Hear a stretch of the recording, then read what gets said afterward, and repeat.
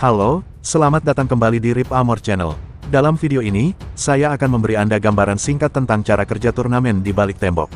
Setiap pemain memiliki bot sekutu, itu mengontrol garis bangunan pertahanan. Untuk menang, Anda harus menghancurkan markas musuh.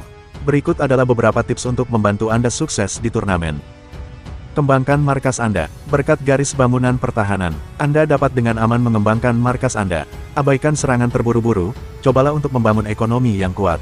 Perbaik jumlah supply center adalah 5-8, tergantung rank kamu untuk membangun 5 supply center, kamu perlu mengupgrade markas pusat kamu ke level 2. Gunakan pemacu konstruksi untuk mempercepat pembangunan bangunan.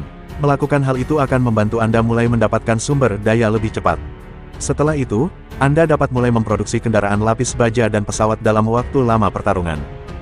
Kumpulkan wadah sumber daya di awal pertempuran, ada wadah sumber daya yang tersebar di sekitar markas Anda. Unit infanteri lebih bagus untuk menangkap kontainer. Untuk melatih infanteri lebih cepat, gunakan dorongan pelatihan infanteri. Menggunakan pemacu infanteri akan membantu Anda menemukan dan menangkap wadah sumber daya dengan cepat. Mengintai daerah. Cobalah untuk mengintai markas musuh Anda lebih sering.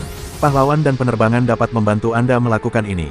Informasi yang Anda dapatkan dapat berpengaruh secara signifikan untuk hasil pertempuran. Serang bangunan pertahanan bot. Ada beberapa cara untuk menghancurkan garis pertahanan musuh. Serangan cepat dan mundur. Menggunakan taktik ini, Anda harus segera membuat pasukan dan menyerang musuh di mana dia tidak memiliki unit, dengan cepat menghancurkan bangunan yang dibeli dan mundur. Jika tidak, musuh mungkin mengirim bala bantuan dan menghancurkan pasukan Anda sejak itu. Sebelumnya, Anda cenderung melemah setelah menyerang garis pertahanan. Di masa mendatang, Anda dapat menyerang musuh dari arah yang sama. Pengepungan, menghasilkan artileri dan menyerang dari jarak jauh.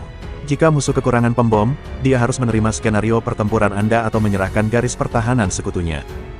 Manfaatkan posisi. Posisi yang baik akan membantu Anda memenangkan pertempuran yang bahkan tidak setara dalam pertahanan.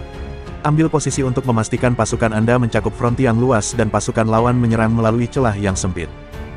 Dalam pelanggaran, sebelum menyerang, hancurkan dinding bot untuk memudahkan pasukan Anda bergerak menghancurkan markas musuh. Tujuan utamanya adalah menghancurkan semua bangunan musuh, jangan lupa bahwa menghancurkan bangunan bot tidak diperlukan. Anda akan kehilangan waktu, sehingga musuh bersiap-siap untuk pertahanan. Ini hanya beberapa trik taktis yang mungkin bisa Anda terapkan, bagaimana dengan yang Anda gunakan. Berikan komentar Anda di bawah, selamat berjuang komandan.